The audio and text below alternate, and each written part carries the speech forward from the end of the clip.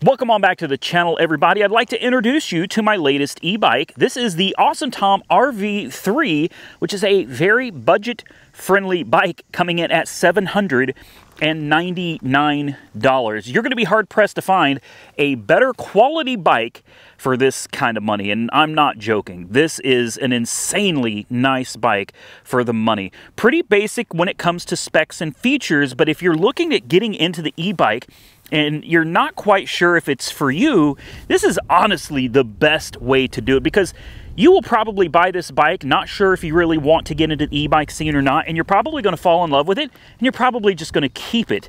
Uh, this thing is truly awesome.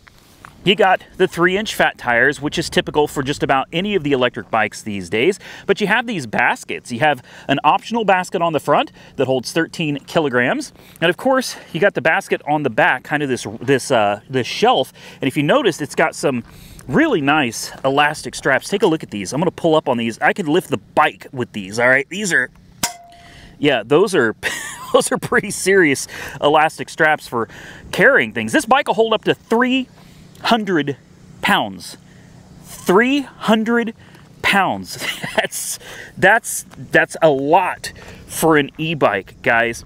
So this thing's going to get you about 30 miles of pure throttle or around 60 miles using pedal assist on a full charge.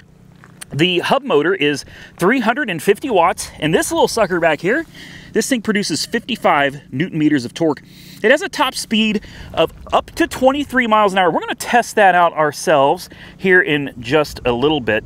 This thing is the ultimate fat tire e-bike, guys. It's also, these fat tires, these are puncture resistant fat tires. That's right. So stickers and stuff, you can probably get away with running over several of them without getting a flat. It's got a headlight with a built-in reflector, which is really nice. It has a reflector on the back. I don't think this is actually a light.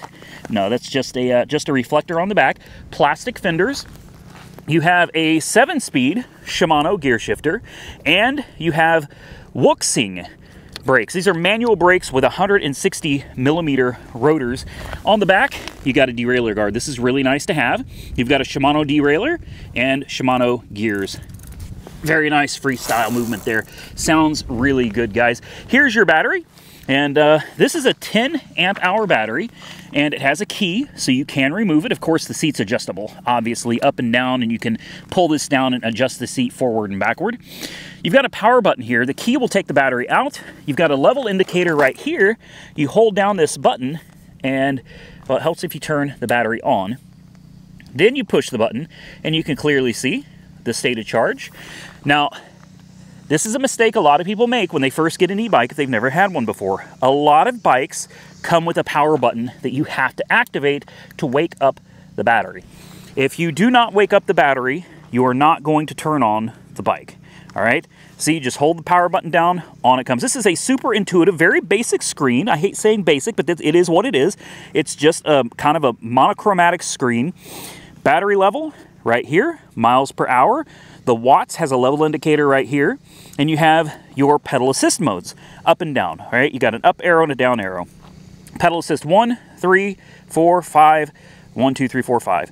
All right, and then down here, this will toggle your trip, time, and miles, just like that. It's a kind of a hidden button down there, but there it is. And aside from that, I mean, you've got your Shimano shifter, very, very simple to understand.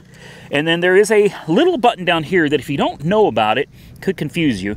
You push this button, and when you hit the throttle, it does nothing. This basically disables the throttle and leaves it to pedaling, all right? Pedal assist will still work.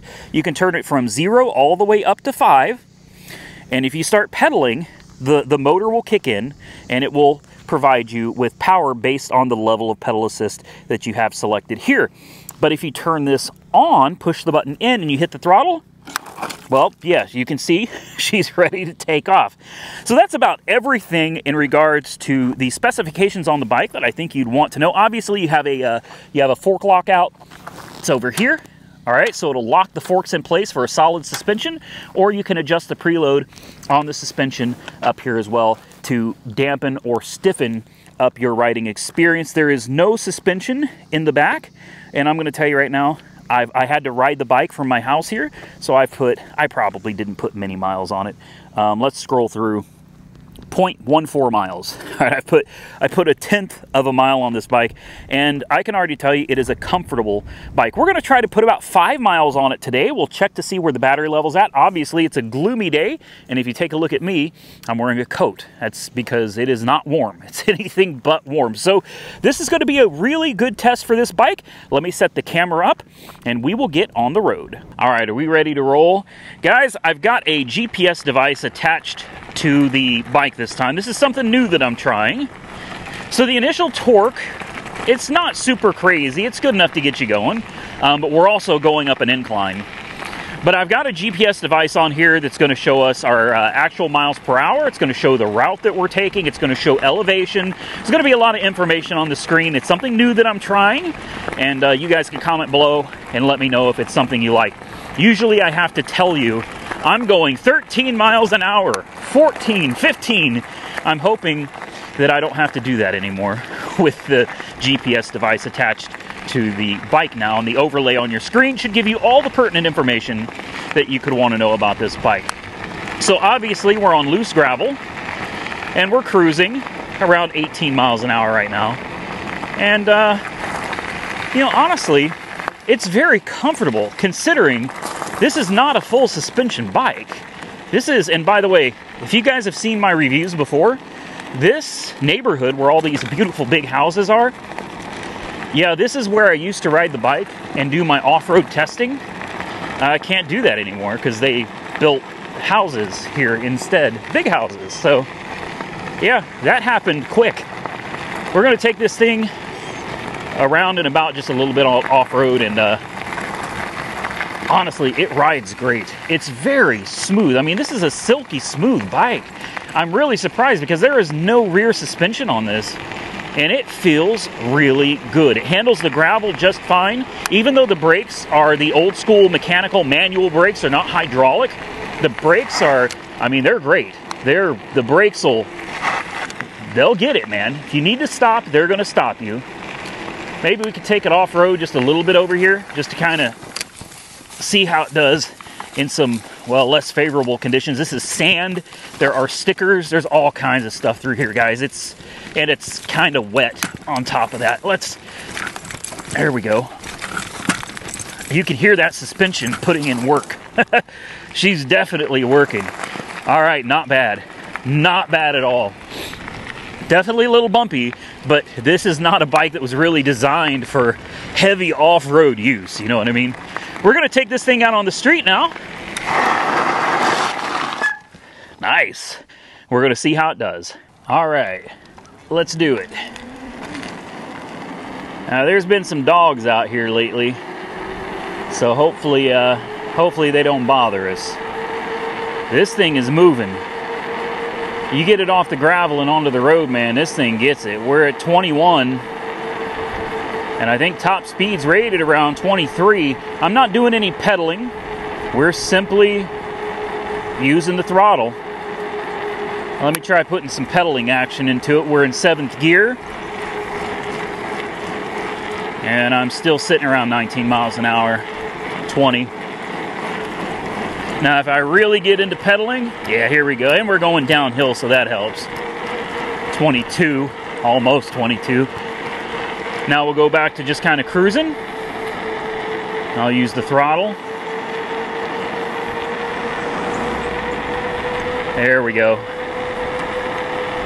Just crossed 23. 24, here we go. I said I wasn't to do that anymore. It's hard not to. Old habits, hard to break, man. All right, coming up this incline, this is where these bikes always have a real tough time because this is a steep hill. I'm gonna leave it on throttle alone. We'll see where it lands. Yeah, 15, 14, 13, 12, 11. Yeah, uh, 11 miles an hour. Yeah, it was difficult, man. Um, now I'm six foot tall.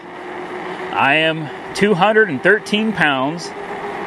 So I expected this bike was going to have a little bit of a hard time. Remember, that's a 350 watt motor in the back. But uh, even so, it still got us up the hill without me having to do any pedaling at all. We're going to take this thing on a little ride through a neighborhood. We'll see how it does. We're going to turn around and come back, and we'll figure out where the battery is at. All right, let's take it off-road again. Not too shabby. Bring her back on the road handles it with ease. No big deal. It doesn't mind big bump. It does not mind going off-road. It doesn't mind bumps. Let's hang her right here.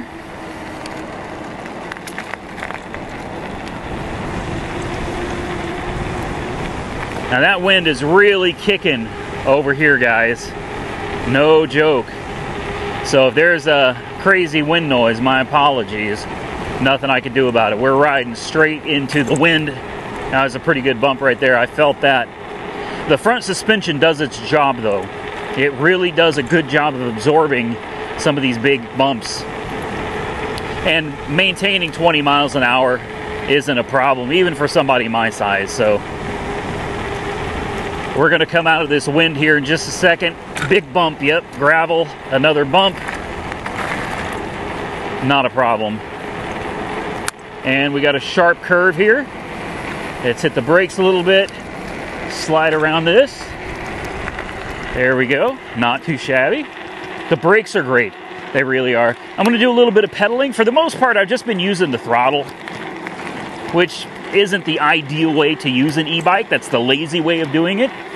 Um, but I am feeling a little lazy today, guys. So uh, I can't wait to see how the battery holds up. Doing some pedaling, not bad.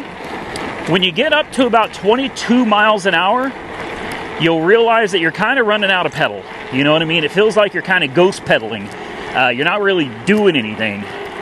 But even so, you're still getting some exercise, still getting some cardio going. You got your legs working.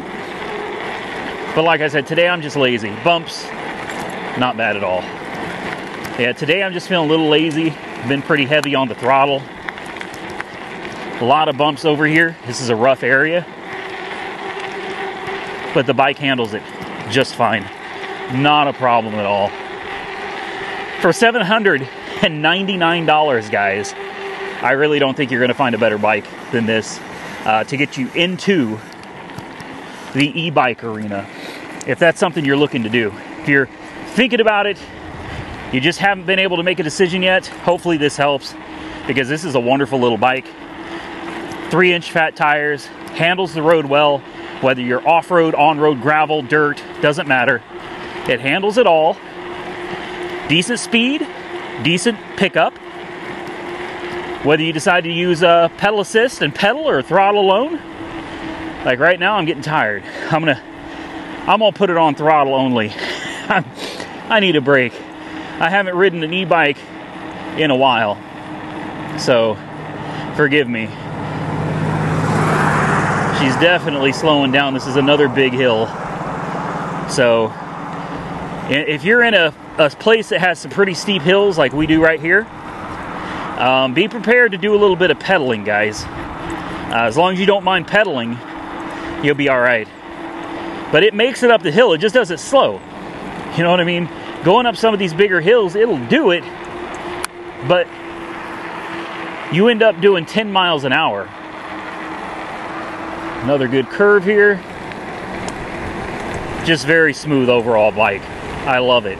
And for, again, $799, this is gonna be hard to beat. All right, so we finally hit the five mile mark on the Asomtom RV3 bike. It's time to see how the battery is holding up after that ride. Now, it's important to understand a few things. Number one, there's a lot of big hills out here.